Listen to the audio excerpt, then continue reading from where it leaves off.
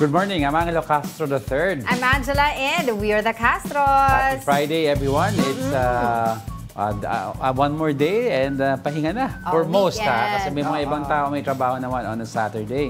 And But since it's a still. Friday, we are joined by... Of course, sa Buddha's Belly. Oo, meron tayo Mm. Okay, game. Ano ba to? ah, dim sum platter. Ito, this one is a dim sum platter. Oo, of course, you have Yang Chow Classic with egg. Yan, itong dalawa. Oh, asado, ah, sweet and sour spare ribs. Here. At tsaka beef balls. And, hakao, and, my uh, favorite buchi. ever favorite buchi. Thank you so much kay Marjorie. And uh, lahat ng mga viewers natin, thank you for joining us for the entire week. Uh, we have one more episode to go. Abangan nyo kung ang, ano yung mga nasa top natin. Oo, ang Oo. dami kasi mga pangyayari actually this whole week. Ah, hindi, parang- information overload na ako. Parang non-stop ang pagpasok ng mga balita at Oo, kwento. Diba? Tapos today pa yung 8th uh, anniversary ng uh, decision ng uh, permanent uh, ng The Hague ruling. The, The Hague ruling on the West Philippine uh, Sea. issues arbitral. sa West Philippine Yung arbitral ruling natin. Yes, Oo. mamaya pag-usapan natin yan. Pero mamaya rin pag-uusapan natin yung designated survivor. The show? The show or yung sinabi ni Ah, ano, sinabi. ni Vice President Okay. Sara Duterte. Ah, madaming pag-uusapan but we're serving you news in a countdown. All that before your second cup of coffee. This is brunch. Let's begin our countdown with the country's new candidate for sainthood, Filipina catechist Lorena Franco, or more commonly known as Kaluring, could be the third Filipino saint. Pasig Bishop Milo Vergara says the Vatican cleared the way for an inquiry into the cause for sainthood of Kaluring. At least two miracles for those who prayed for the late catechist must be attributed to Kaluring. Kaluring served as at St. Michael Parish in Taguig City as a catechist before succumbing to ovarian cancer in 2011 at age 75.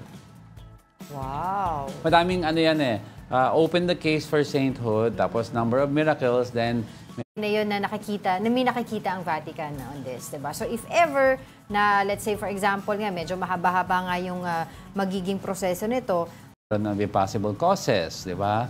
Or you have St. Clair of television, di ba? May That's naka-assigned na specific uh, uh, uh, advocacies ng isang saint uh, na ina-assign ng St. church. Francis, 'di ba for animals? Animal, St. Francis of Assisi.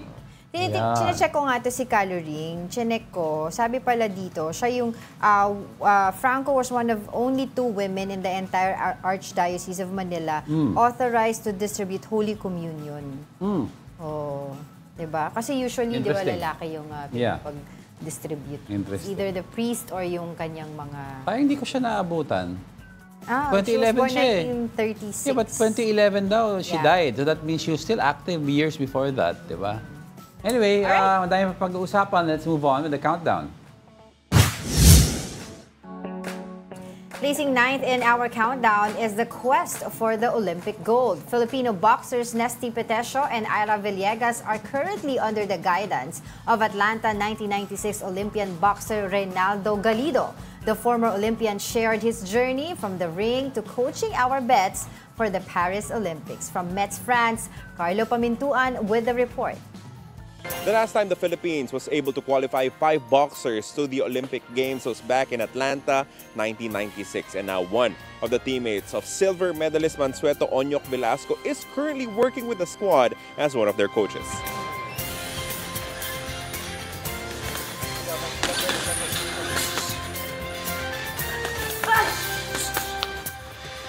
Ayoko yun. Pero namang laro yan ng Turkey, gano'n na yung bakbakan yung, yung talaga eh. Ah, tututos lang dalawa eh. Reynaldo Galido competed in the light welterweight division in the 1996 Olympics. Unfortunately, he had a very early meeting with world number one and eventual silver medalist Oktay Urkel of Germany that caused him to drop out of the tournament early. Actually, alam mo, ang lungkot-lungkot nung, nung natalo ako eh. Kasi nung time yan, number 2 ako sa world. Siya naman, number 1. Kami kagad naglaban. So, wala talaga, yun nga, hindi na sinuwerte. Ganun talagang laro eh, boxing eh. Hindi na talaga kung hindi sa'yo, hindi talaga sa'yo ano, tumukol. Alam mo na, nung kulang ka lang sa okay. dagdag mo kulang sa bagbagbagan. Doon ka na sa kilid eh. Nahuli mo na siya, pero kulang sa, ano, kulang sa dagdag na suntok. Galido would not get a chance to compete in the Olympics again. as he suffered a shoulder injury in the qualifiers to Sydney 2000. But he would find his way back into the quadrennial event as one of the Philippine boxing team's coaches. Pero sa akin, napakaswerte, ano, napakasaya ko din dahil siyempre, nung time, during my time, lima kami nung nakapasok at the same time, yung plug bearer ngayon, sa atin din na boxing din. Yung time yan, ako rin ang plug bearer ng 1986 Olympic ngayon. Parang feel ko na rin na, na nakasama pa rin ako sa ganito, at least nandito. Parang kasama nga talaga ako. Right now, their squad is split into two groups, and the assignment is to help out Nesty Petesio and Ira Villegas. Galido will always be proud of their 1996 squad that went home with an Olympic silver. But he knows that this current group could build on the most successful Olympic campaign of the country in the upcoming Paris Games. From Nets France, Carlo Paminduan.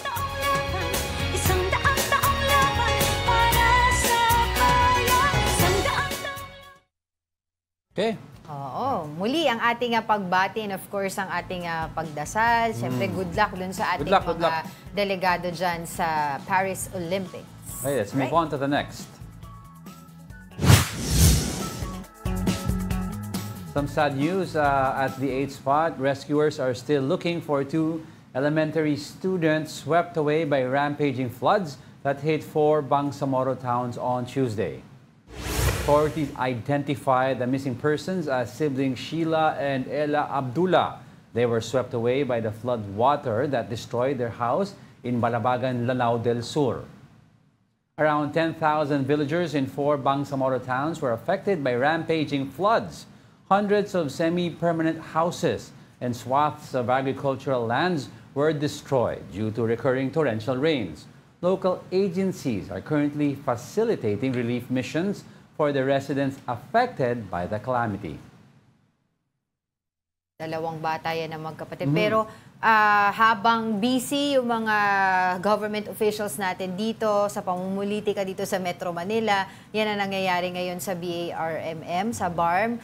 Ah, 10,000 villagers yung affected po dyan. Dami yan. At ah, yun nga, may dalawa pang hinahanap na bata dahil na nasama sila, naanod sila nung ah, flood Parang water eh. makakalungkot lang kasi sa dami ng issue na lumalabas ngayon. Yes. Na parang natatabunan yung, yung Ito, this is a pangangailangan very nila. important, This is ano, very ah. important. Buti it's, it's in our countdown. Yes. Natatabunan yung nangyayari sa kanila. But we have Diba, to remind naghahanda yung mga tao dun sa zona, 20 million pesos. O ito nga, BARM. 'Di ba? Natutulungan ba natin? Although, of course, yung mga regional office doon, Oh, yung local government nandoon, Oh, ha? but they We're need not help also. setting that aside. But of course, they need help din sa Diba? Meron ng daddy, hero, di ba yung hero Oo, daddy na oo. liligtas yung bata pero siya hindi na ano, hindi na nag-survive. Ayun. So, yan yung ano ko lang, yung point ko, 'di ba? So, patuloy tayong uh, kukuha ng mga updates diyan and hopefully sana nga makita na yung dalawang nawawala pa na Yes. inanod nga ng baha. Okay. All right, uh, uh, coming up. Vice President Sara Duterte appoints herself as the so-called designated survivor. And the lawyer of fugitive Apollo Kibuloy says his client may have flown out to China already. Yun Yan ang sinasabi ko kung totoo yan. 'Di ba? Oh. Init ng ulo. Ayan, nakatakas na. Ang bagal kasi kumilos. Mamaya, pag-usapan na yan. Hold your horses. Tama ba yun? Wala naman horse. There's no horse. Pag-uusapan natin yan because we are just getting started mga kapatid. Hulaan niyo po kung ano yung magiging number one natin ngayon sa ating countdown. More of our top 10 news when brunch, when brunch returns. Keep it here on One News. News.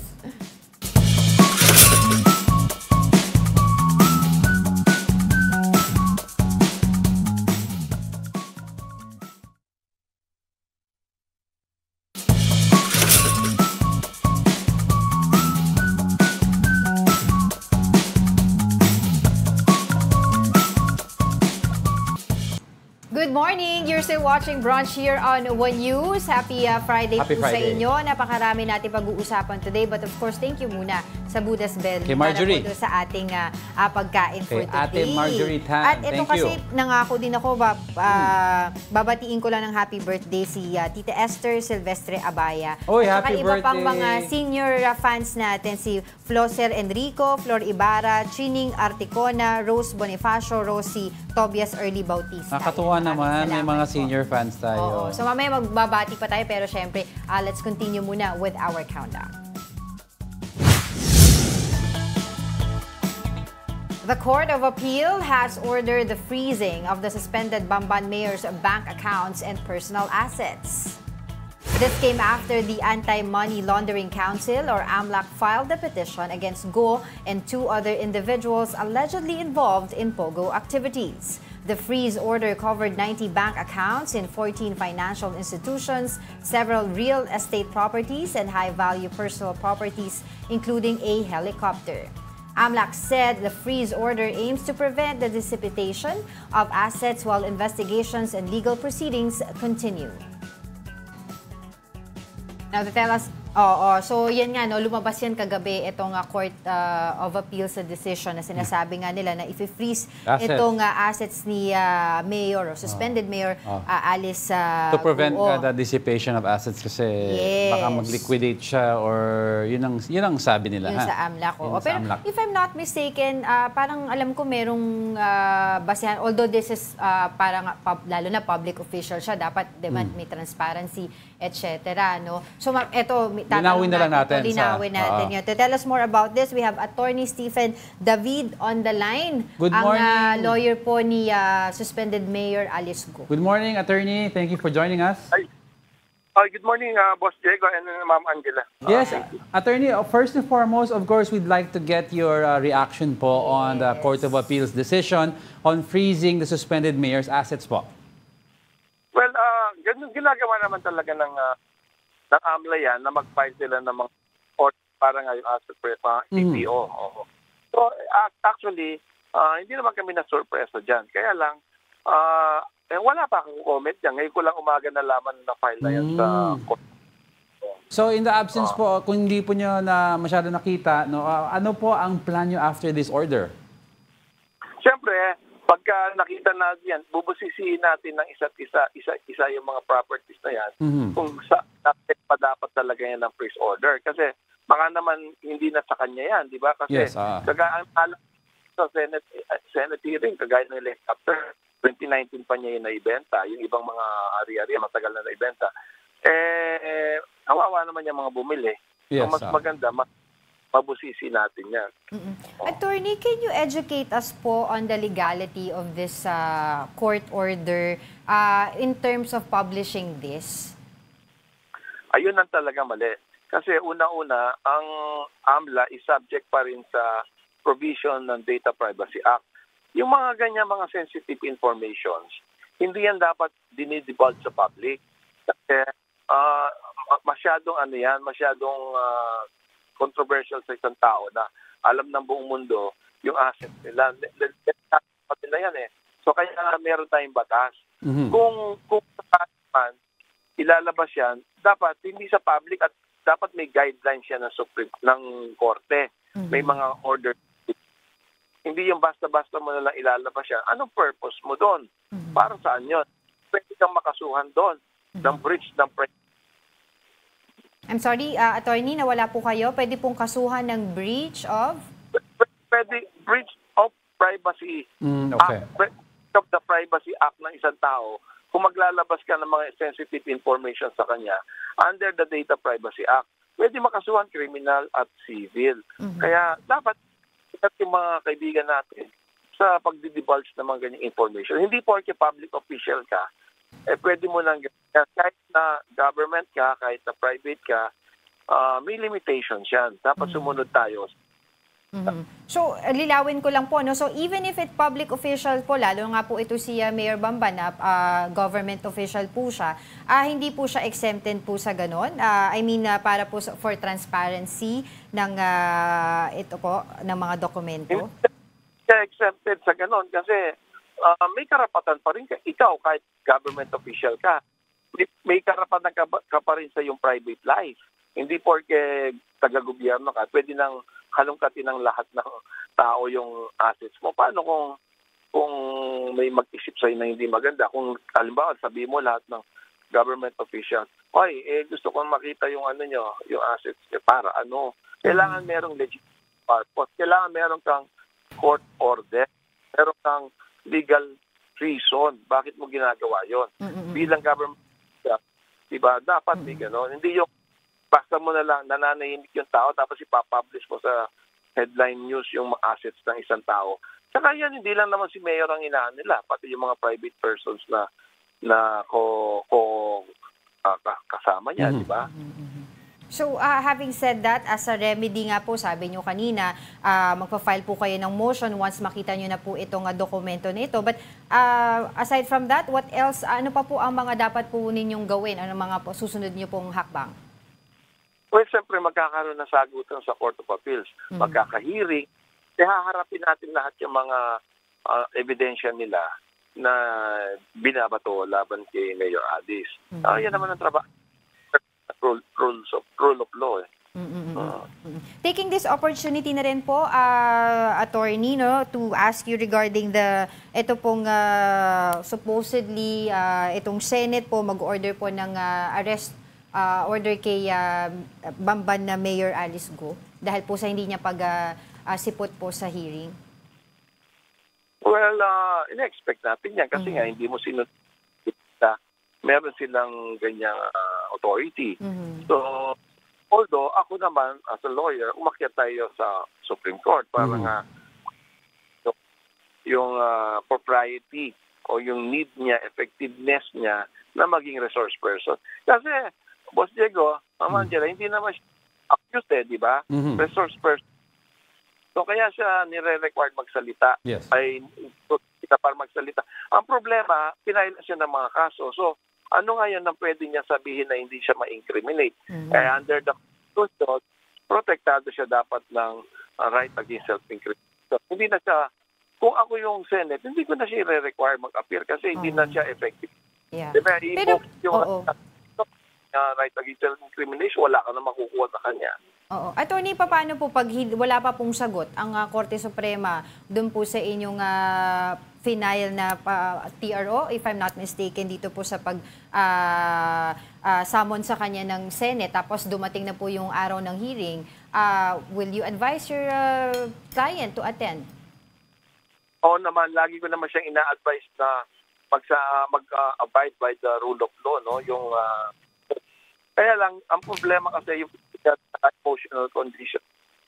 Eh parang hindi niya kaya, hindi ko ma hindi masasaklap nararamdaman yung pakiramdam niya sa hindi naman si may stress sa ganyan klase na pinaharap, di ba? Sinong taong hindi may stress sa ganyan? Alright. Oh, hindi, di ah, kasi gusto ko lang kamustahin din si ano bago natin napakawalan si attorney. Kamustahin po namin si ah, ah, si ah, Mayor Go. Ah, ah, nakausap kailan niyo po siya huling nakausap? Two days ago, nagkausap kami, pero traumatized siya eh. Lagi nga siya umiiyak. Tsaka, ma, ma- ano, hindi, hindi talaga maganda yung physical condition niya dahil nga sa mga stress na na I, pinagsisigawan ka ba naman sa Senate at uh, sinacyberbully ka, nilalibel ka, pastor ka, binubulat-lat na ng private life mo. Sino naman tao ang hindi matutraumatize sa ganyan? All right. uh, with that, uh, thank you very much, uh, Attorney Stephen David, for joining us this morning on Brunch. Maraming salamat po. Thank you, thank you okay, Boss Diego and you.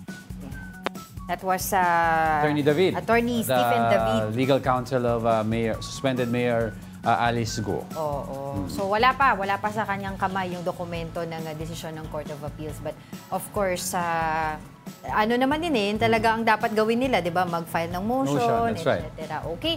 Sige, at uh, mahaba-haba pa tong Correct. usapin na to tungkol dito kay Alice Go. But of course, sabi nga natin, marami tayong dapat pag-usapan today. Let's continue with our countdown. Coming in at the sixth spot, the Justice Department orders to conduct autopsies on all dead inmates. The DOJ entered an agreement with University of the Philippines Manila and United Nations Office on Drugs and Crime that aims to conduct forensic examinations on custodial deaths. This is their way to strengthen procedures in investigating the deaths of inmates, Prior to this, autopsies were only conducted when family members suspect suspect foul play as the cause of death of a prisoner. Oo, kasi if you can remember during the COVID-19 pandemic, Yeah. ah, ang daming mga namatay and then kung hindi lang nag-question yung I think yung kaanak nung isang namatay doon ay ah, hindi ma-autopsy yung mga yung yung ah, certain ah, PDL na yon. Ang dami rin issues about uh, accusing, I think, kay Bantag ba to? Oo. Oh, 'di ba? Yung ha- and may nagkwento na isang inmate na na nag uh, hindi nagpakilala na sinasabi sometimes some inmates die na nagmumukhang heart attack pero hindi naman Hindi daw naman heart attack. Inano nila asphyxiation daw, nilalagyan ng bag sa ulo, hindi na makahinga, magsa-stop na lang yung heart. So, uh, I think uh, this is to uh, remedy the situation na puro haka-haka. So at least when somebody dies, Yun na meron yung na tayo, SOP. may SOP, na, may finding na tayo, Yun na ano ba talaga ang kinamatay. Oo, kasi di, eh, maganda rin ito kasi alam ko nasabi rin to ni Dr. Raquel uh, Mm, Fortun, Fortun. yung ating kilalang forensic doctor, di Our only. Our only. Oo, pero yun nga sinasabi rin niya para din daw ma-check yung mga ah, prevent preventable deaths, no? Kasi nakita daw nila parang recently also na yung ibang mga namamatay, mostly namamatay due to tuberculosis. Eh alam naman natin nagagamot na ang tuberculosis, pero na nakakahawa siya. Sometimes kasi walang symptoms eh, or it can mimic a simple Oo, cough. Eh. So. 'di ba? So maraming mga exposed doon, etc. So, this is also one way to combat that, yung mga preventable diseases, 'di ba? Kung merong may namatay dito sa sa loob ng bilibid na to ng ganitong sakit, o i-check niyo na lahat ng ano, 'di ba? Pagamot Eh, niyo na lahat lang. ng na-expose. Sana i-check nila habang buhay. Ayun Matintayin lang. pa nila mamatay. bago Hindi kasi 'di ba may namatay, tapos ah nakita, ah, ano yung cause of death niya? So ngayon, ma-check na nila Kasi may- ngayon yung exposed, magagamot Hindi, na. sabi ko kasi it mimics a cough. Kung may cough ka, i-check nyo na kung may tuberculosis. Kasi that's the common sickness naman sa loob ng isang ah, Yes. crowded facility. Oo. Okay. Sige. Alright, uh, Next, let's next, uh, next. Uh, today, nako, July 12 marks the 8th anniversary of the arbitral ruling which rejected China's territorial claim in the West Philippine Sea. But yesterday, China reaffirmed its objection to the ruling. According to a report, Beijing says the tribunal ignored China's position and ruled on sovereignty over the islands and reefs in violation of the basic principles and the spirit of prudence and self-discipline. On the same day, the armed forces of the Philippines confirmed the presence of China's carrier strike group in our waters. AFP spokesperson Francel Padilla says they are concerned over the deployment. According to the U.S. Naval Intelligence, this is the first time this year that the aircraft carrier has been spotted outside of the South China Sea. Eight years na ito ay pinag-uusapan natin kanina Eight ng years opening na, ng bilis. branch. Eh. Eight years na pala yung since the decision nga ng permanent Yes, because I think the decision came out close to af- I, uh, clo- before or after na proclaim si President Duterte. Was right at that Yes. time, around that time. Oo. oo. So, this is the first time nga na somebody, di ba, a nation Yeah. uh, has challenged China over its maritime and we succeeded. And we succeeded. And we gained a lot of praise from other countries for Oo, doing international that. community. Yes. It's just that nag, nag-die down yung, kumbaga, ang tawag doon yung cli- climactic na yung panalo natin eh, di ba? Mm. Tapos biglang ah, lumubog dahil nga after nun, yun na yung ah, pagpasok naman ng Duterte administration. Yes, And we because- all know naman what happened during the China-centric kasi yung policy. Not China-centric, but uh, mas friendly. mas friendly towards China yung mga policies ni PRRD, former President Rodrigo Duterte. So, madami nagsasabing mga analyst na yung uh, panalo natin sa Hague, yung arbitral ruling, hindi masyadong na-maximize yung potential na sanang pwedeng gamitin in leveraging uh, negotiations with China. We could have used this to uh, develop alliances daw with other Western nations right away. 'di ba? Pero apparently kasi when PR, PRRD came into power, madami siyang inaaway na western countries.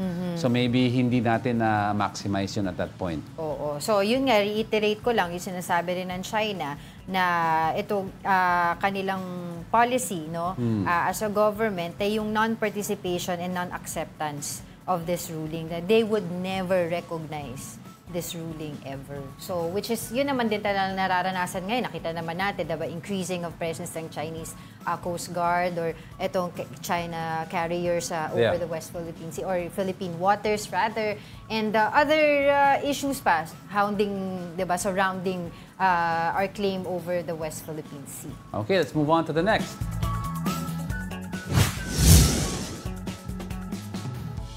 Coming in hot at the fourth spot is the Davao City Police. Davao City Mayor Baste Duterte questioned the Philippine National Police or PNP after the agency changed the city's police chief three times yesterday.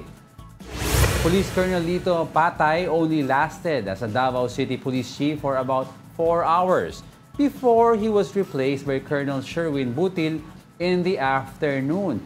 However, Butil was also relieved from the post within the day. Police Colonel Hansel Marantan eventually took over his position. Davao City Mayor could not help but think this move is politically motivated.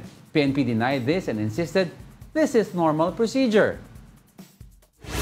this is not really limited sa sa Davao City. Medyo uh, siguro because of the some of uh, political issues na kanahaluan po ng kulay po ito. But we want to assure everyone na na this is uh, far uh, far too uh, away uh, far far from uh, far from reality yung nangyayari po na sinasabi nga dinudugtong po itong mga nangyayari po sa Davao because of uh, the current political uh, issues Nangyayari nga yan. Normal nga na may mga No, nan- reshuffling, No, pero... nangyayari nga yan, but not hours apart.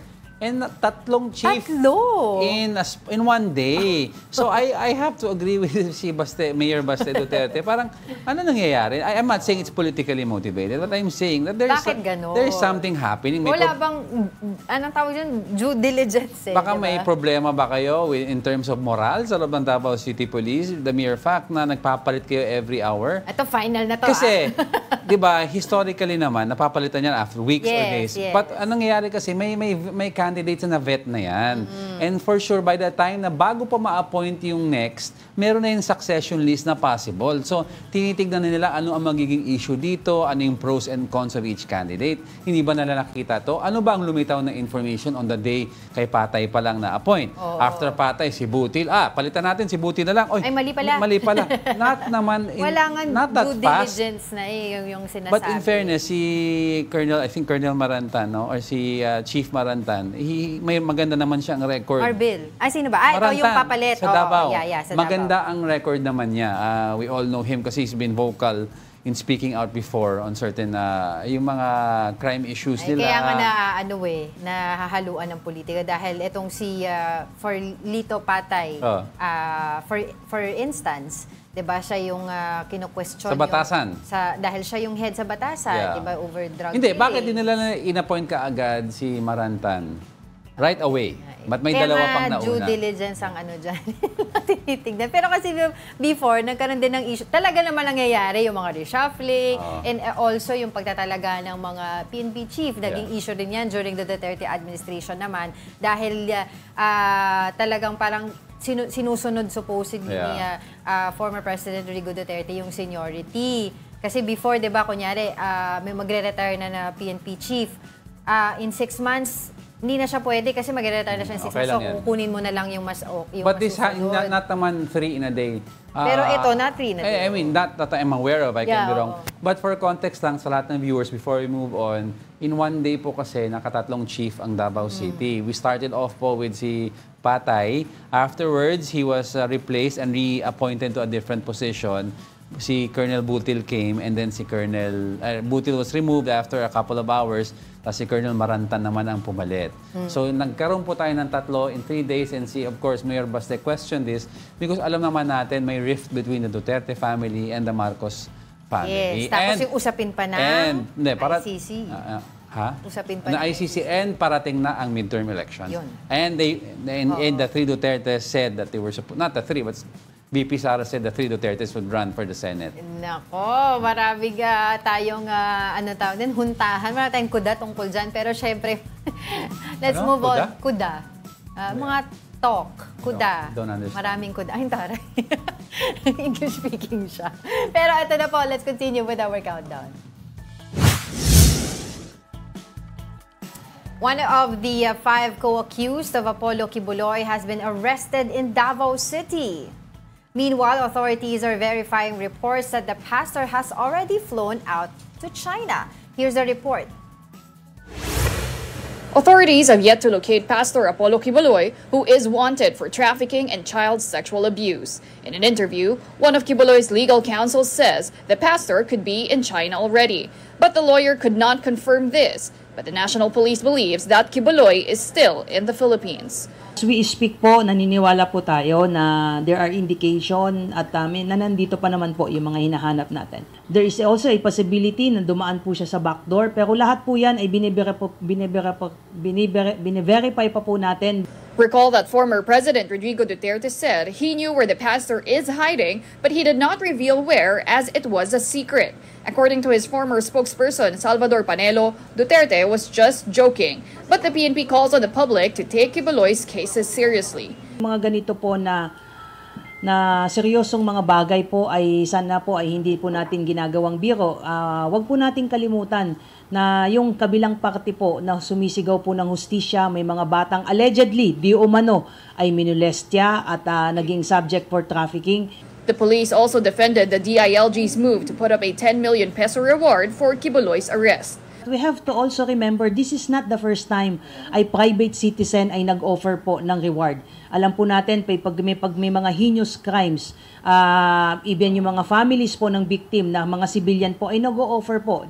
Vice President Sara Duterte, who is a known friend of Kibuloy, agreed to this. So right man na siguro ah, sa ato ang gobyerno and sa DILG nga magpagawas og rewards ah, para sa mga wanted na mga tao kanang mga ah, dunay warrant of arrest. President Marcos earlier called on Kibuloy to come out and face his charges. Okay, so itong nahuli si Pauline Canada. No? Canada Ah, name niya? Oo, Pauline Canada. And uh, she was arrested at uh, Barangay Buhangin, no? Emily Home Subdivision yesterday at 2 p.m. Okay. So, ito yung isa sa mga co-accused niya, no? So, ano, ah, magkakaroon daw ng ah, ah, press conference this morning. Ewan ko, baka ongoing na, hindi, pa, hindi ako sure. Pakicheck nga natin kung ongoing na. Ito nga sila, Interior Secretary Benhur Abalos, and of course, si ah, PNP Chief General Romel Marbil. Ah, A lot of leads are coming in also. Eh, whereabouts si uh, Apollo Kibuloy. It's just that they have to verify kasi sa dami, hindi, hindi mo alam kung ano yung prank dyan. oo. Ano yung, Tapos, sinabi ng lawyer niya, baka daw pumunta, lawyer niya nagsabi? eh, baka ang word. Word is baka. Pero PNP thinks otherwise. Pero may possibility kasi, May alam mo naman. possibility yan. May mga since nasa- backdoor channel. Nasa Davao ka, ah, alam mo there's a backdoor through the southern corridor. Diba? Na pwede siyang umalis. Pero ever since naroon na nagkaroon ng mga issue kay warrant kay Kibuloy, the PNP was already watching him, supposedly watching him already. Right. Oo. Oo. Tapos, na, na- ano ko lang, idagdag ko lang yung mga nakikita ko sa social media. 'Di ba Yung mga joke ng mga tao. Kasi nga 10 million, Hmm. ah, nagme-message sila daw, supposedly kay Akibulet, sinasabi nila, from ano po ito, yung kunyari shipping company, ah, ano pong exact location nyo, may i-deliver lang po kung Meron- parcel. may- meron isa pa, aside yung sinabi mo, yung anong grab daw, yung, yung french fries daw niya malamig na. Oo. Saan daw po kayo pwede- exactly? Para maibigay yung refund daw. Oh, Ay, may nako, matataba utak kaya ng mga Pilipino. Pero funny. ve- this is a very serious It is. case ah. So At sinabi natin. ni Colonel Jean, di ba, wag dito biro-biro. Kasi ah, kasabi ni Attorney Sal Panelo, nagjo-joke lang si Pangulong Sabi Duterte. secret daw, alam niya kung nasaan. It's so, ano, no, how ang bilis mag-shift ng balance of power. Noon kasi amo nila si Pangulong Duterte. Ngayon, you, you see the spokesperson saying, hindi to biro Hindi to yung sinabi. biro, oo. Pero when he was president, panay ang biro niya. Okay eh, lang yan, Okay lang yan. ah. Don't Let's understand him. seriously. That's Visayan humor, di ba? So, anyway, Alright, mm-mm. don't go away because we're not done yet. May dalawa pa tayo. Stay with us.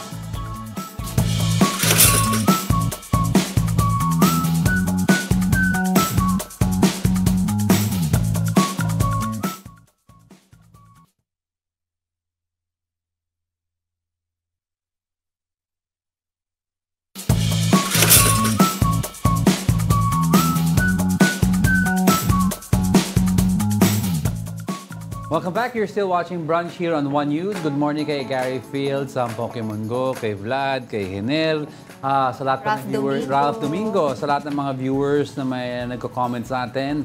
Maraming salamat. Si Alex Fuentes, maraming salamat sa mga sticker niya. Oo. Ito, sticker niya. Ito yung sa YouTube, si Oscar, si Mark Santiago, Ronald Maxtay, ah, si Noel Calayan, at saka si Anig Villa, Gary Ko. Yan ang mga ano natin dito naman sa Face, ah, sa YouTube. pala. Alright. Okay, let's go.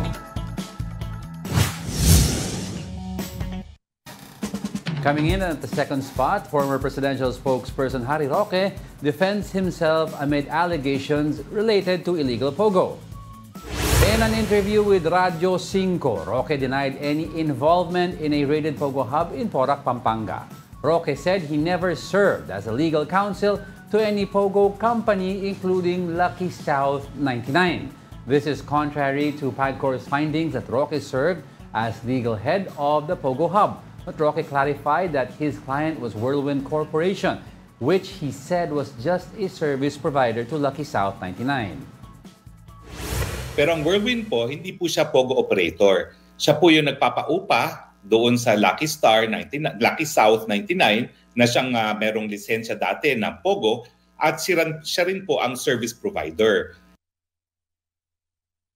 Kaya lang daw nagka-mistake sabi ni ah, Attorney Harry Roque. It's just during the time na nagkaka-pleadings tsaka sa mga regarding yung ano, Whirlwind, siya daw humaharap for Whirlwind. So people mistook him also for Lucky representing South. uh, Lucky South because yung paghaharap ng mga Whirlwind sa mga pleadings kasi was also for or on behalf a service provider for Lucky ano, yung Lucky South ba? Yes, Yeah, Lucky uh, South Lucky 99. South. Oh, but he Pero- was representing Whirlwind Corporation daw. And ang trabaho ng Whirlwind is not only real estate, but service provider to Lucky, Lucky South. Oo. Oo.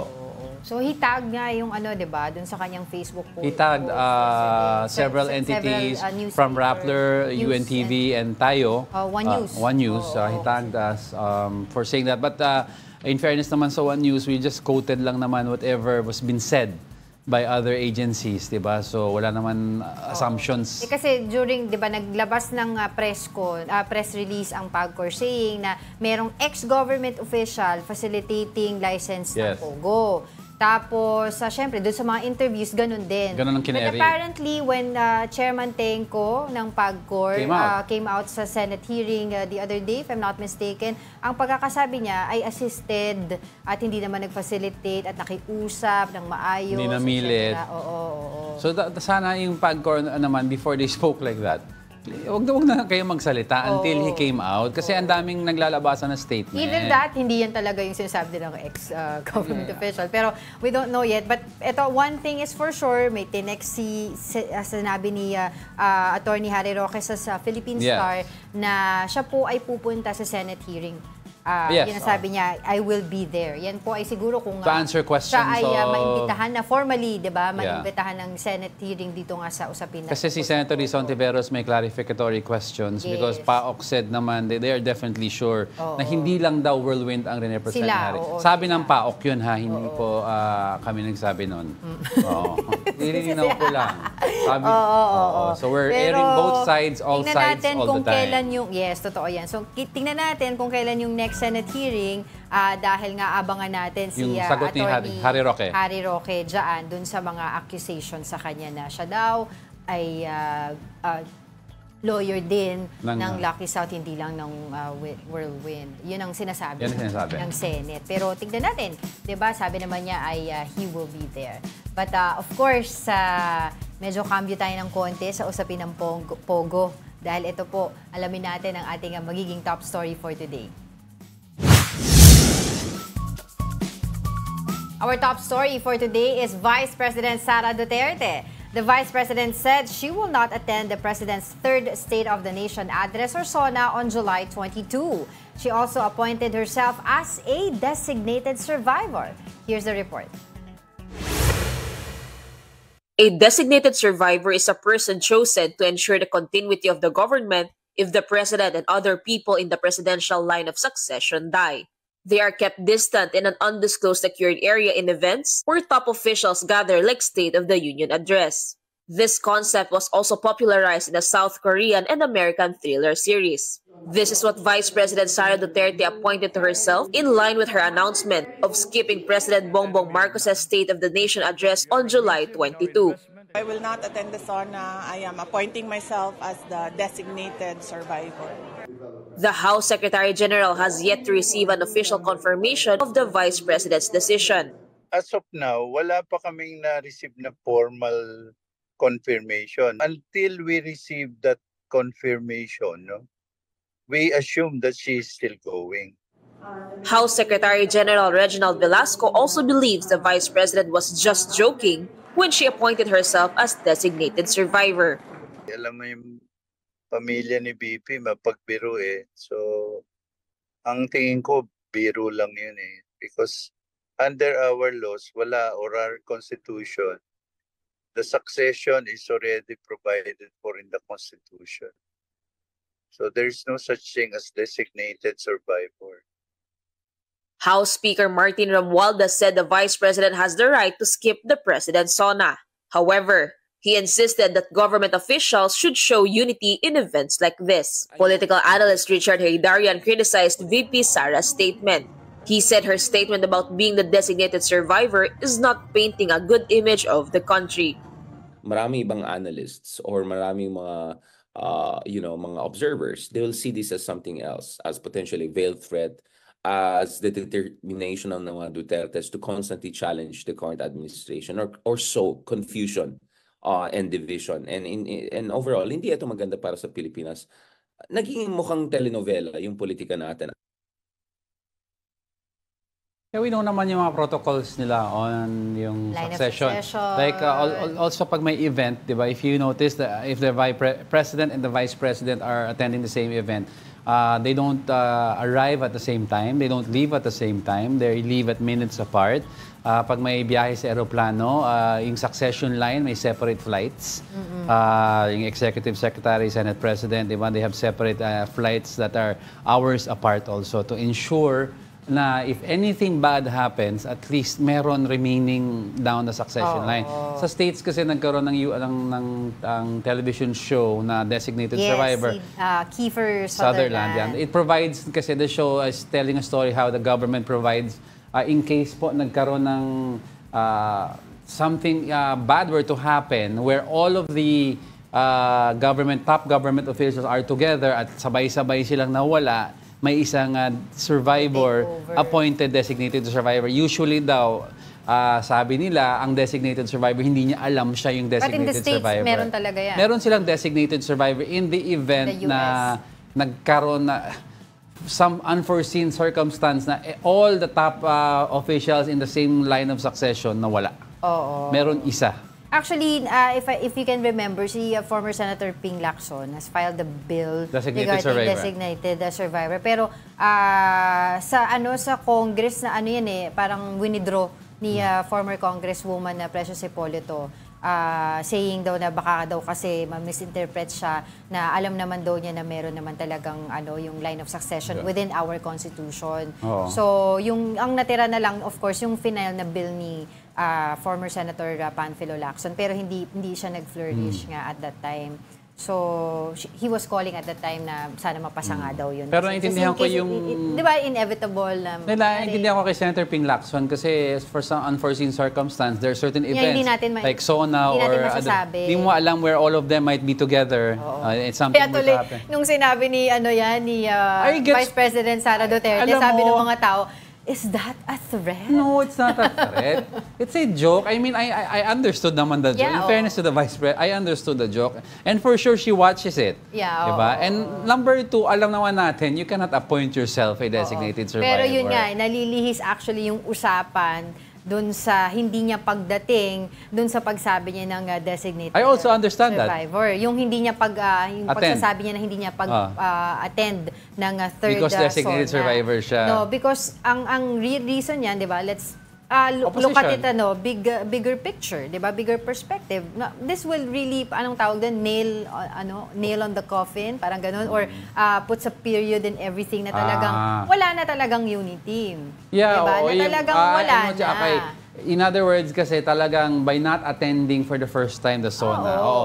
Well, historically naman, opposition, if the opposition vice president uh, is Hanggang invited SONA, lang. hindi naman siya pupunta. Yung first, malamang nandun siya kasi Oh, introductory. first, second. Pero I understand naman, DP Sara, if she's not going because Yeah, she's now, na. by resigning from the cabinet. Mm, alam mo na. Yun lang nga, siguro Na yung joke na, There's no turning back. hindi ako pupunta kasi ako designated survivor. Oo, Ay, di ba?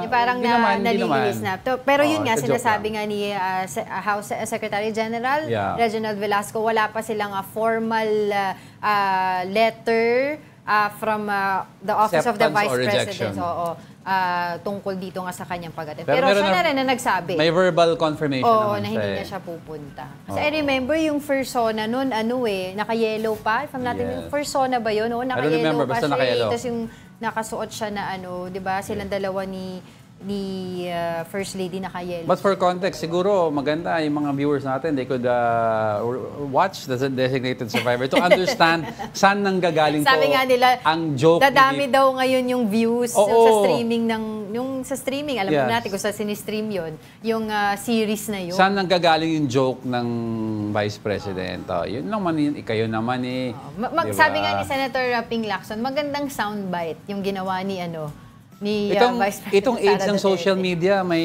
nagsasalita o joke o hindi joke ang isa, nagte-trend. Parang si, da, madaming dumalaw kay Rico yan kasi may nagsalita. Ito si Vice President, designated survivor. Ala! Nagano sa lahat. O yan, si Netflix natutuwa. Oo. Ay, So. Yan. Yan, ah, yan pa yung siguro next week pag-usapan na rin natin I'm mga sure mga nganak tong mga issues mga plus to. new issues uh, Sino kaya approaching magiging flavor of the month by July, ay by August? Kasi iba-iba yung nagiging flavor of the month. Napansin mo? Yeah. Ngayong July si Rico yan, nung May si ah, June si Mayor ah, Bamban. Iba-iba eh. Ay, nako. Anyway. Oo, pero ah, syempre tayo tuloy-tuloy lang yung ah, pag-count. And thank you pala sa Buddha's Belly Of kay Marjorie for sending course. ah, itong mga pagkain. Kung walang bawas, huwag kayong mag-alala kasi after the show, doon namin uubusin to. And that's a lot of viewers natin. Thank you very much for joining us uh, on brunch today. We will see each other again next week. Don't worry. May, may babating ka ba? na. Oo. Si Gary Field ba? Na, na, ba- na, Yes, nabati ko na kanina. Okay na? Leo Abad, yan. Ah. Yung mga hindi natin nabatak, nabati kanina. Myra Sailin Talimay. Si Jerry Yang who's also Jerry watching Yang, of course. right. Good morning, Jerry. Oo, oo, oo. And Si I'd like Mother Earth. and Mother Earth, of course, uh, and all our family members. Thank you for supporting us. And with that, I'd like to leave everyone with a quote uh, for the weekend. Coming together is a beginning. Keeping together is progress. Working together is success. A quote by Henry Ford. Apparently, hindi Ang nangyari dito sa ano, sa government natin, coming together lang. Ap- apparently, hindi nakinig ang unity team sa quote ni Henry Ford. Oo, hanggang dun lang sila sa first process, coming together. And that wraps up today's episode of Brunch. Join us again on Monday. I'm Angela Lagunsad Castro. And he is Angelo Castro III. We are One News. Go, all Go, sides, all the time. See you on Monday.